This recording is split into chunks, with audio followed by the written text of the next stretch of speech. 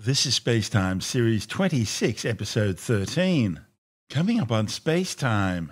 Are rubble pile asteroids older than we thought? Has the Earth's core stopped spinning? And another asteroid near miss of planet Earth.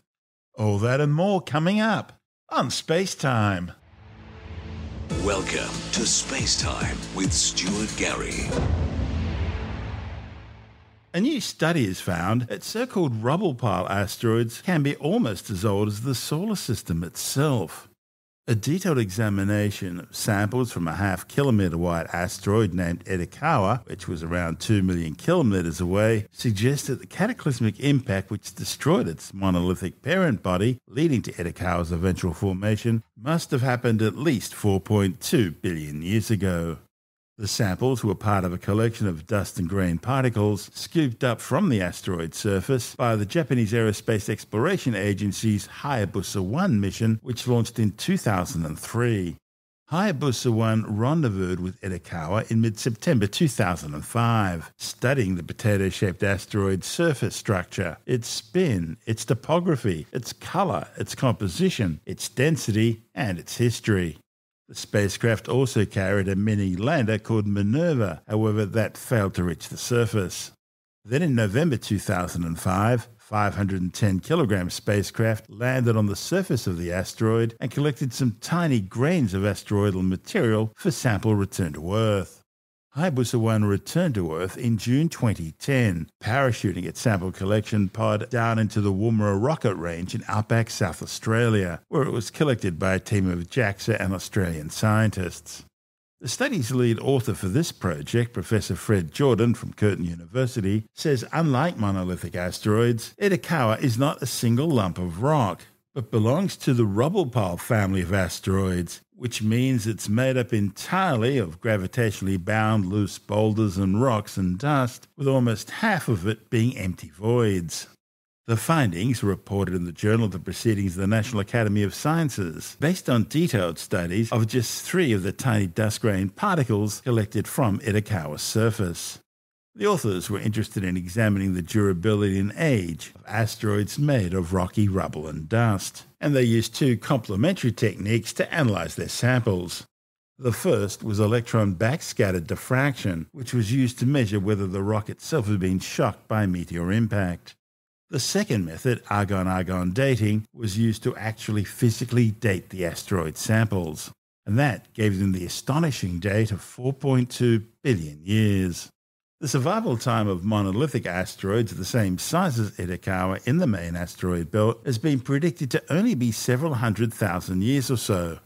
So the astonishing long survival time of an asteroid the size of Itokawa is being attributed to the shock absorbent nature of rubble pile asteroids. Jourdan says think of Itokawa like a giant space cushion. The durability of rubble pile asteroids was previously unknown, thereby jeopardizing the ability to design defense strategies in case one of them was found hurtling towards the Earth. The findings suggest that rubble pile asteroids will be difficult to destroy because they're resistant to collision.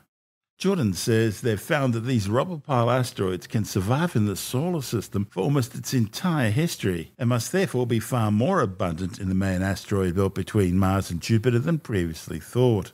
That means there's more chance that if a big asteroid is hurtling towards the Earth, it'll probably be a rubble pile.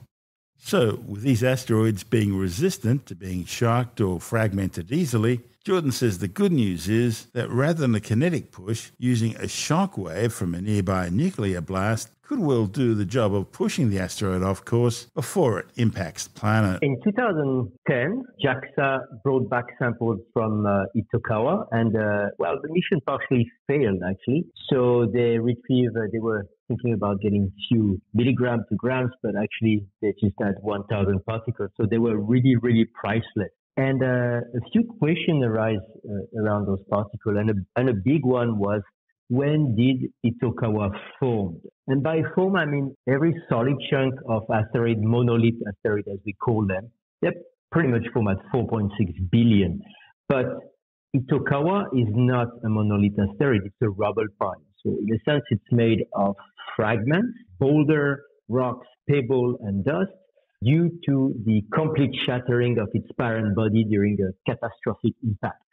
And the entire JAXA community and everybody working around the sample, they were really curious when that it happened. So what we did, we asked JAXA a few particles. They were generous because the technique we use are destructive. So once we're done with our sample, they're gone forever. But they were okay with that because the question we address is pretty interesting. And we look at them using the EBSD technique. So it's an electron backscatter diffraction. And what it does, it looks at the level of shock deformation in the grain in the crystal structure. And the other technique we use was uh, argon-argon dating. So it's based on the on the decay of potassium in argon. So potassium is pretty much everywhere. You contain potassium, I contain potassium, and pretty much every rock contains potassium. And so it decays into this argon, and it's a, it's a geological clock. When you have a, an element which is radioactive, the potassium, is going to decay in argon. And this atom, the atom of argon, is trapped in the structure of the crystal. It doesn't belong here, but it's completely trapped like it's in a jail. If you apply more heat, what happens to every atom in the crystal is they move faster because this is what heat is all about, atom moving faster. And if you reach a sort of escape velocity, if you want, it moves so fast that it's going to move randomly through the structure through Brownian motion. And when it reaches the surface, it just, it just go away and you keep losing argon from your crystal. And in the case of the one we dated, it's mostly plagioclase, and plagioclase close uh, at 300 degrees. So if you apply a temperature of more than 300 degrees for a few hours to a few days or months or whatever, then all the argon is going to be purged until the system cool down back below 300 degrees and the argon start accumulating again. And that's what happened at 4.2 billion. The system gets completely reset and get trapped in the rubble pile structure and start to accumulate again. What happened is like at the beginning of the solar system, this clock starts in the parent asteroid. And if nothing would have happened, it would have get a chunk of rock dated 4.6 or 4.56 billion, like we did many chondrites. But in this case, the age that we got on Itokawa was different. 4.2 billion years old. This was surprising and not in the sense it was too young, but rather it was really, really old. Because remember that Itokawa is fragmented by the impact that fragmented the monolith asteroid. So when it gets fragmented, the clock resets. So we can essentially date the fragmentation. But why I say that it's older than expected? Because a lot of people have run model simulation and it's estimated that asteroids between 500 meters to a kilometer, two kilometers in, in, size, they're supposed to survive few hundred million years in the asteroid belt and get destroyed by constant bombardment. But here the age is not few hundred million, it's 10 times older, 4.2 billion.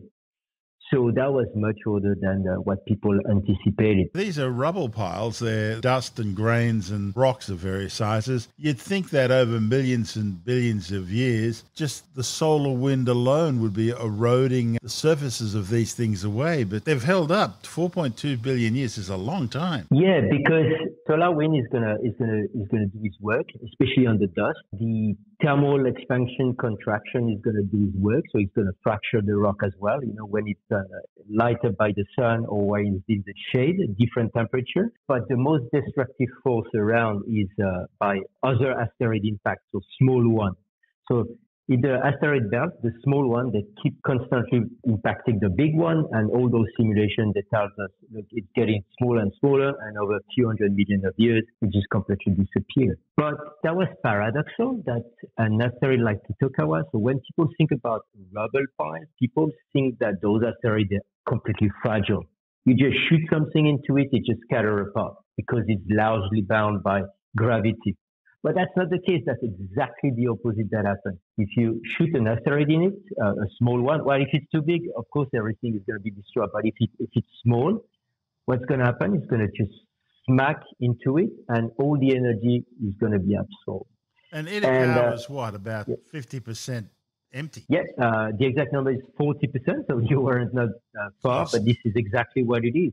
It's void space. And And that's why I like to call Itokawa a space cushion because it's mostly void and it absorbs energy. The analogy I love giving people is they go in their backyard and they put a rock and they use your sledgehammer to fracture it. Huge impact energy, maybe it's going to fracture in three, four pieces, big pieces, right? But if you do the same with a pile of small pebble or sand, just the, the hammer is going to do poof in the sand and nothing's going to happen. The pile of sand is going to look exactly the same. Why is that? Because the energy is completely absorbed by the void space. And that's exactly what happened with Itokawa. Now, looking at a rubble pile asteroid like this, that's got to have implications for the future of things like planetary defense, especially when you consider that we, we saw pretty much the same sort of thing with the DART mission recently. Absolutely. And uh, I, am a big fan of the DART mission. That was a fantastic, resounding success. I mean, it works even better than intended. So what they did is they used a small space probe the size of a refrigerator and they impacted in a, a moon uh, Didymos. So the moon is called Dimorphos. Both asteroids are rubble pile. They are fairly small, 300 meters uh, wide. And they managed to deflect uh, the Dimorphos change its orbit by half an hour or something like that. And that, that was more than what people thought it would be. And sometimes people uh, tell me, oh, so you reached the opposite conclusion with, with your studies that like asteroids are resistant. No, we reach exactly the same conclusion. This is fantastic. But the fact that they are resistant can help us in a case in this following case scenario.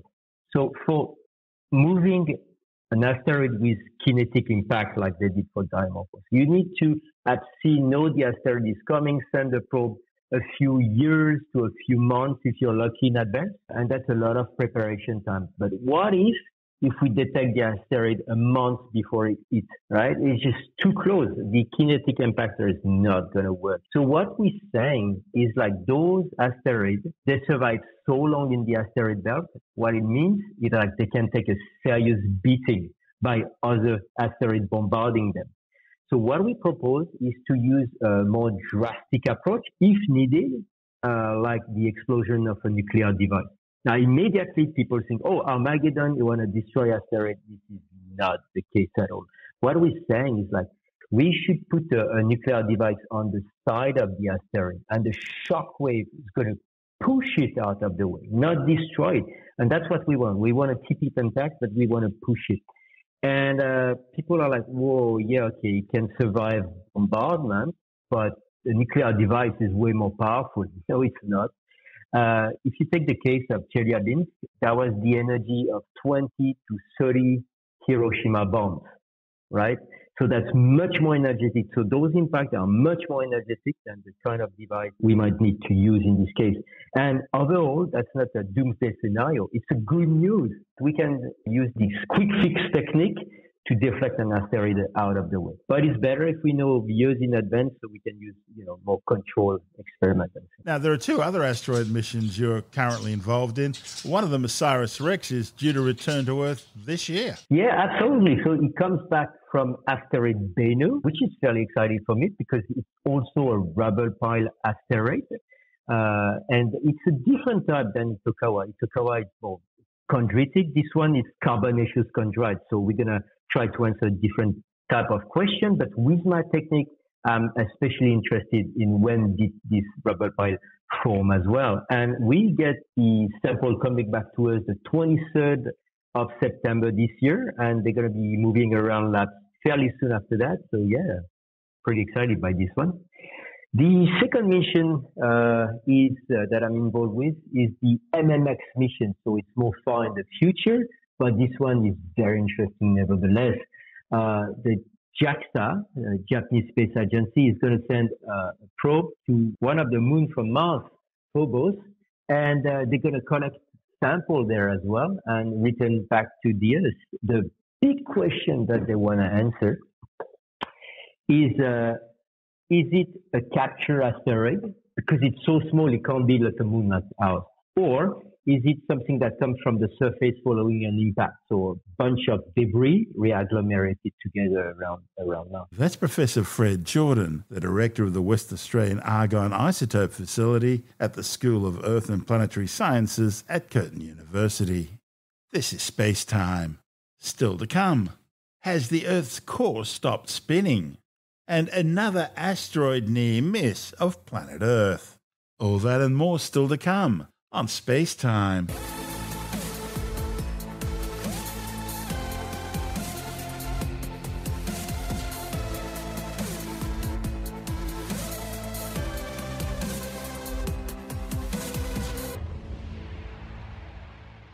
A new study claims the rotation of Earth's solid inner core may have recently paused and could even be reversing.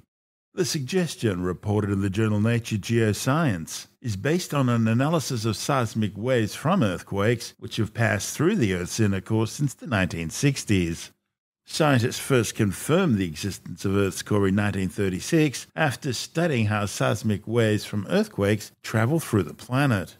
Changes in the speed of these seismic waves revealed that the planet's core, which is about 7,000 kilometers wide, consists of a solid inner core, composed mostly of iron and nickel, surrounded by a molten metallic outer core, composed mostly of liquid iron and other elements.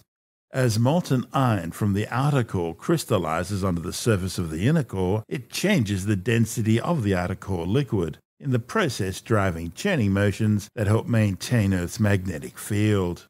The liquid outer core also acts to decouple the 2,400 kilometer wide inner core from the rest of the planet, allowing the inner core to rotate at its own pace. The spin of the inner core is thought to be driven by the magnetic field generated in the outer core and balanced by the gravitational effects of the surrounding mantle. Scientists have found that since the 1960s, the time it takes for seismic waves to reach a given seismic station from earthquakes originating the same place on the other side of the planet has changed, suggesting that the inner core is rotating faster than the planet's mantle. That's the layer above the outer core. Follow up studies have now determined the rate of this super rotation, as it's called, suggests that the inner core rotates faster than the mantle by about one tenth of a degree per year. They've also identified a reversal in the inner core rotation as part of a seven decade oscillation with a previous turning point occurring in the early 1970s. However, other studies have suggested that this super rotation only really happens in mostly distinct periods, such as in the early 2000s, rather than as a continuous steady phenomenon. And there are other scientists who argue that the superrotation doesn't exist at all, and that the differences in earthquake travel times are actually being caused by physical changes on the surface of the inner core itself. And then to further complicate things, you may recall that last year we reported on a study using data from seismic waves generated by American nuclear tests in 1969 and 1971. These suggested that between those years, the Earth's inner core rotated more slowly than the mantle, and that it only began to increase its spin rate above that of the mantle after 1971. But now the authors of this new study say that the inner core has stopped spinning relative to the mantle. The claim, that's based on earthquakes between 1995 and 2021, suggested the inner core superrotation stopped around 2009 and they say they've observed the same effect at different points around the globe, thereby confirming that it is a true planet wide phenomenon related to the core's rotation and not just because of a local change on the inner core surface. They say that since around 2009, paths that previously showed significant temporal variation have exhibited little change, suggesting that the inner core's rotation might be in the process of shifting back towards subrotation, or it may have paused altogether. If so, something's probably happening to the magnetic and gravitational forces that drive the inner core's rotation. And these changes might link the inner core to wider geophysical phenomena, such as changes in the length of the day on Earth due to shifts in planetary rotational speeds. Now, if it's all correct, the findings could aid science's understanding of how processes deep in the Earth affect the planet as a whole.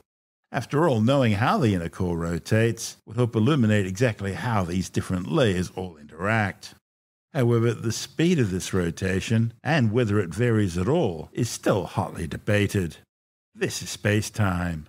Still to come. An asteroid the size of a huge truck swoops past the Earth, and later in the science report, United States approval given for a new generation of small modular nuclear reactors to combat climate change.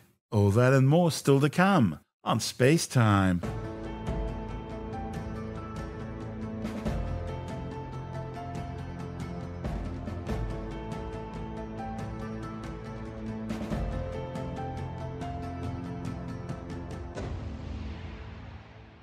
An asteroid the size of a big truck has just swooped past the Earth, making one of the closest approaches by a near Earth object ever recorded. Asteroid 2023 BU passed just 3,600 kilometres above the southern tip of South America. That's 10 times closer than the orbits of geostationary satellites. The 8.5 metre wide space rock was discovered just a week before its close encounter with planet Earth by citizen scientist astronomer Gennady Borisov, the discoverer of the interstellar comet 2I Borisov from his observatory in Crimea. Additional observations were then reported to the Minor Planet Center. That's the internationally recognized clearinghouse for the position measurements of small celestial bodies. And the data was then automatically posted to the Near Earth Objects Confirmation page. And after sufficient observations were collected, the Minor Planet Center announced the discovery.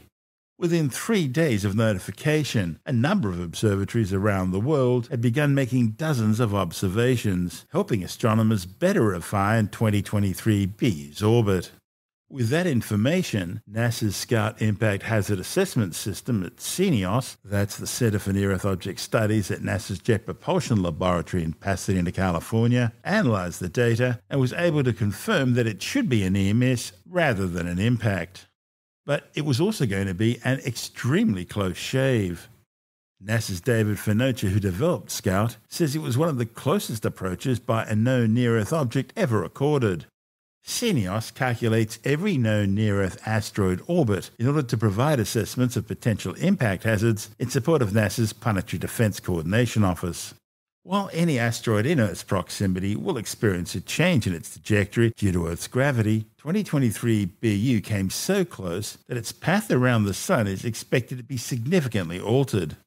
Before encountering the Earth, the asteroid's orbit around the Sun was roughly circular. In fact, it was approximating Earth's orbit, taking roughly 359 Earth days to complete one orbit around the Sun. But following its encounter with Earth, the asteroid's orbit has become far more elongated, moving it out to about halfway between Earth and Mars at the furthest point of its orbit around the Sun. That means 2023 BU will now complete one orbit every 425 Earth days, giving us something to look forward to in a year and a couple of months. This is Space Time.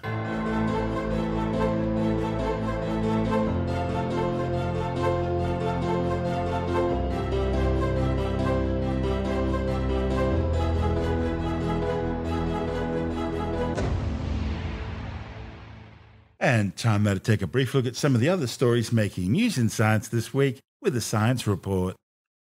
America's Nuclear Regulatory Commission has for the first time given its stamp of approval to a new next generation small modular nuclear reactor design. Certification of the NuScale design allows utilities to choose the advanced reactor when applying for a license to build and operate a new nuclear power plant.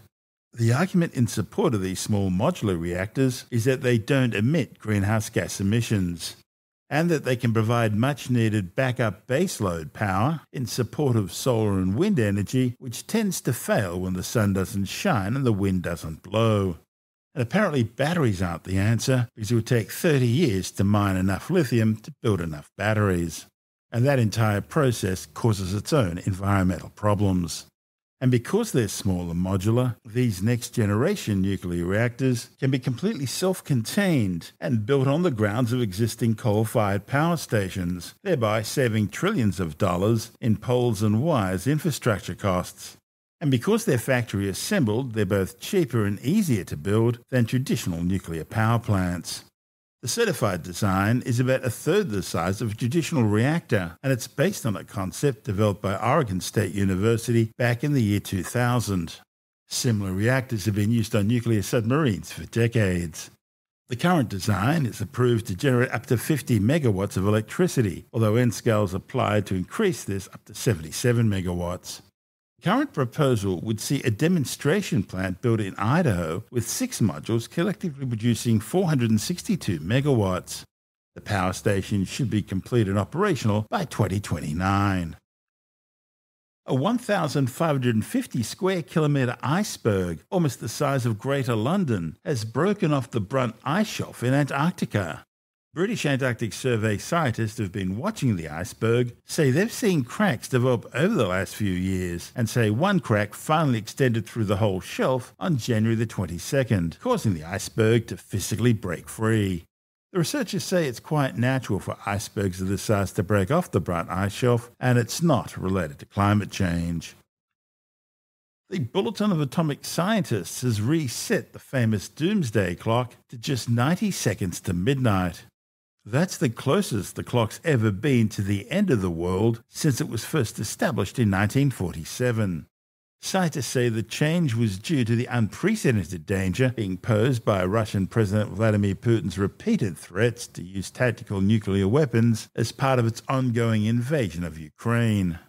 The hands of the clock are set each year by the Bulletin Science and Security Board, which includes 10 Nobel laureates. When the hands of the doomsday clock were last moved, they were set at 100 seconds to midnight. That was in 2020.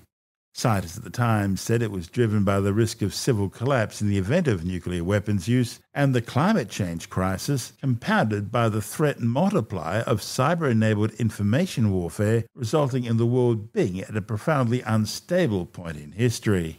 The closest the clock came during the height of the Cold War was two minutes to midnight. That was in 1953, following the first hydrogen bomb detonation. At the time of the Cuban Missile Crisis, the hands were seven minutes to midnight. But the Bulletin's board decided not to move them despite the crisis. That's because by the time it came to make that decision, the near catastrophe appeared to have given both Washington and Moscow fresh impetus to work towards risk reduction and arms control.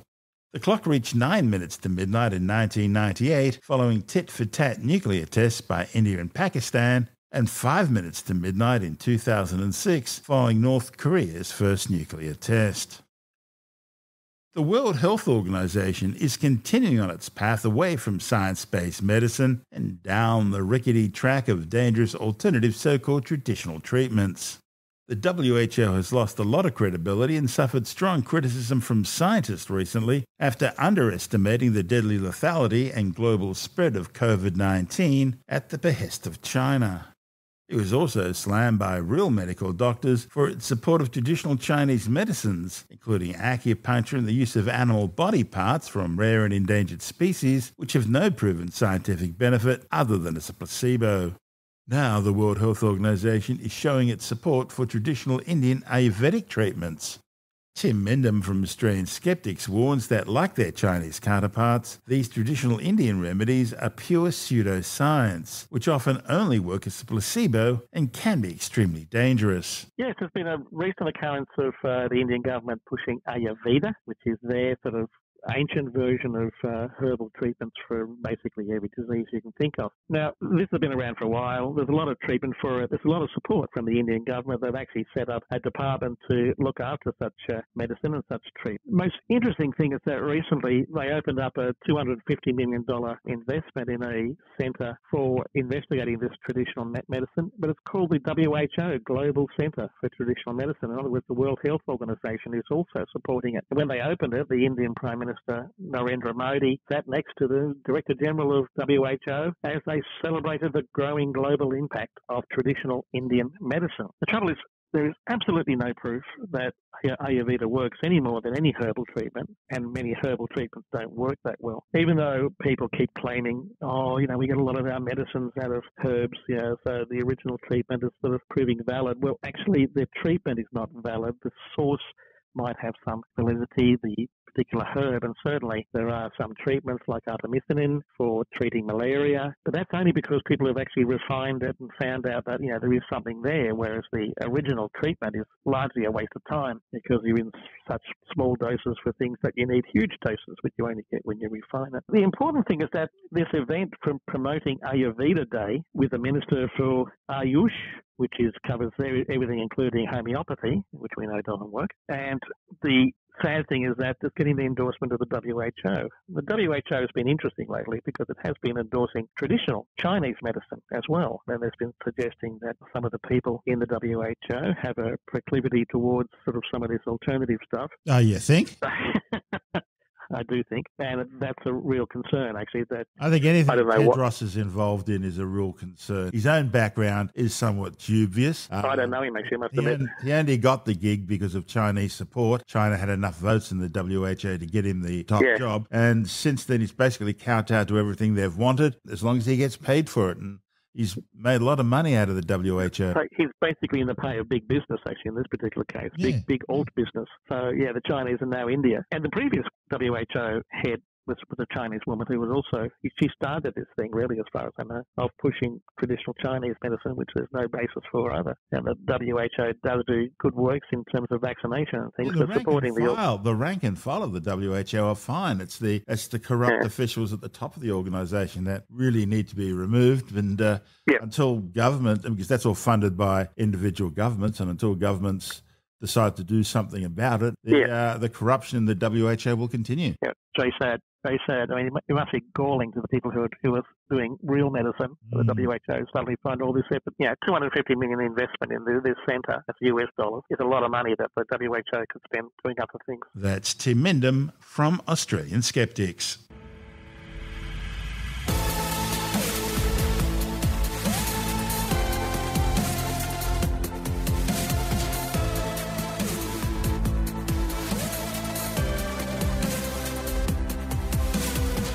That's the show for now. Spacetime is available every Monday, Wednesday, and Friday through Apple Podcasts, iTunes, Stitcher, Google Podcast, Pocket Casts, Spotify, Acast, Amazon Music, Bitesz.com, SoundCloud, YouTube, your favorite podcast download provider, and from spacetimewithstuartgary.com. Spacetime's also broadcast through the National Science Foundation on Science Zone Radio and on both iHeartRadio and TuneIn Radio. And you can help to support our show by visiting the Spacetime store for a range of promotional merchandising goodies. Or by becoming a Spacetime patron, which gives you access to triple episode commercial free versions of the show, as well as lots of bonus audio content which doesn't go to air, access to our exclusive Facebook group, and other rewards. Just go to spacetimewithstuartgary.com for full details. And if you want more space time, please check out our blog where you'll find all the stuff we couldn't fit in the show, as well as heaps of images, news stories, loads of videos, and things on the web I find interesting or amusing. Just go to spacetimewithstuartgary.tumblr.com. That's all one word, and that's Tumblr without the E. You can also follow us through at Stuart Gary on Twitter, at Spacetime with Stuart Gary on Instagram, through our Spacetime YouTube channel, and on Facebook, just go to facebook.com forward slash spacetime with Stuart Gary. And Spacetime is brought to you in collaboration with Australian Sky and Telescope magazine, your window on the universe. You've been listening to Space Time with Stuart Gary. This has been another quality podcast production from Bitesz.com.